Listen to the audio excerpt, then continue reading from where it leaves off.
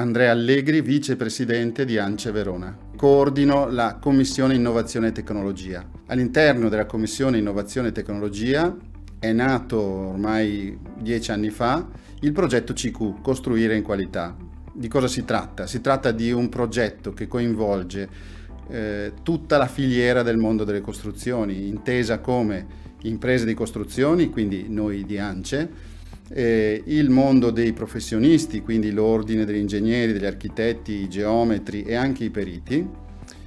e anche diciamo, eh, gli impiantisti, le eh, aziende che forniscono il materiale, i servizi, eccetera. Tutto questo perché? Perché una decina d'anni fa venivamo da un periodo in cui eh, nascevano nuove esigenze, nuove richieste per la qualità del, degli edifici che dovevamo costruire, a iniziare dall'efficienza energetica, a seguire con l'antisismica, venivamo da periodi di grandi terremoti, di grandi devastazioni, terremoto dell'Aquila e mm, terremoto dell'Emilia Romagna, eccetera. E quindi bisognava trovare una maniera per affrontare i temi dell'edilizia e del mondo delle costruzioni con un'elevata competenza, nuove competenze e un linguaggio comune che diciamo potesse fare in modo di eh, capirsi al volo con le persone che entravano nel processo edilizio. Il periodo che abbiamo affrontato a seguito della pandemia è stato un periodo piuttosto difficile. Eh, all'inizio è stato molto difficile ovviamente per, per tutto quello che è accaduto anche umanamente, ma dal punto di vista delle aziende eh, innanzitutto si è dovuto adeguare il modo di lavorare alle nuove richieste di eh, sicurezza e di tutela delle persone che lavoravano nei cantieri e comunque nel mondo dell'edilizia. Quindi grande burocrazia, grande lavoro legato ai protocolli da, prof, da approfondire e anche da applicare eh, nei nostri cantieri e nei rapporti con con i professionisti e tutte le aziende che lavoravano nel nostro settore. Dall'altro canto c'è da dire che eh, poi una volta acquisito questo sistema di lavoro si è potuto invece avere un eh, feedback legato a quella che è l'esigenza delle persone che vogliono vivere nelle proprie abitazioni post pandemia siamo stati costretti a vivere all'interno delle nostre mura per molto tempo. Questo da un lato ci ha eh, come dire, fatto apprezzare l'idea di avere quattro mura e un tetto dove stare e quindi un senso di protezione. Dall'altro ci ha eh, suscitato delle esigenze che sono legate invece alla possibilità di avere spazi all'aperto, di avere luce, di avere giardini, di avere terrazze. Quindi se vogliamo trovare un aspetto che ha una certa incidenza sul nostro settore è proprio il fatto che le richieste che ci vengono fatte negli ultimi tempi sono un po' diverse da quelle che venivano fatte prima, quindi più eh, spazi all'aperto, stanze più grandi, possibilità di vivere fuori, all'aria aperta e al sole e, e quindi un modo diverso di progettare gli edifici e di realizzarli. Noi eh, nella, parlo come associazione costruttori, però parlo anche come diciamo, operatore del settore che è sul campo praticamente tutti i giorni.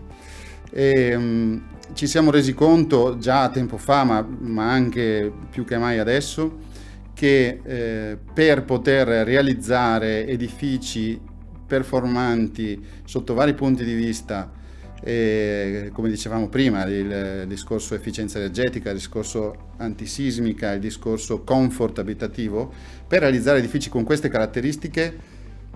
c'è da, eh, come dire, approfondire, da studiare,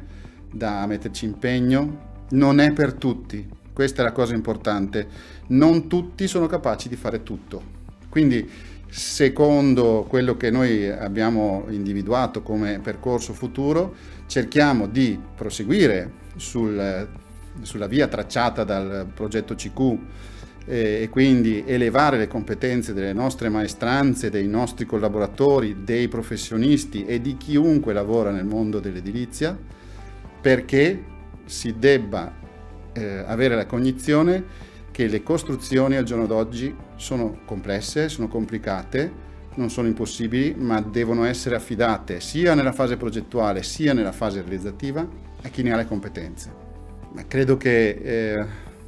la, la, professione di imprenditore del mondo dell'edilizia sia una, una professione estremamente soddisfacente e che dà la possibilità di realizzare concretamente anche eh, le proprie convinzioni e anche i sogni di chi invece viene da noi. E, e questo è eh, il faro eh, che dobbiamo seguire, la luce che dobbiamo seguire. E, ehm, ci sono eh, chiaramente delle difficoltà, però il, il, nostro, il nostro obiettivo il mio obiettivo nel futuro è quello di cercare di essere competente su cose dove non tutti sono competenti e quindi che se uno ha la possibilità eh, o, o l'idea di realizzare un certo tipo di edificio sappia dove deve andare. E, ci sono obiettivi che poi derivano dalla pandemia, pandemia, ma che abbiamo già affrontato anche nel passato in tempi non sospetti. E, e quindi puntare sul mettere di nuovo l'uomo al centro della costruzione, non più il metro quadrato in più, il centimetro in più, i 10 centimetri di altezza in più, ma l'uomo, l'uomo come eh, obiettivo del benessere e del comfort delle abitazioni che andremo a realizzare. Ci sono mille esempi da fare, uno di questi è eh, il fatto di tenere presente a seguito della pandemia, ma ripeto, non solo a seguito della pandemia, controllare l'aria che respiriamo eh, all'interno degli edifici soprattutto. Ci sono eh, molti esempi di edifici realizzati con questi principi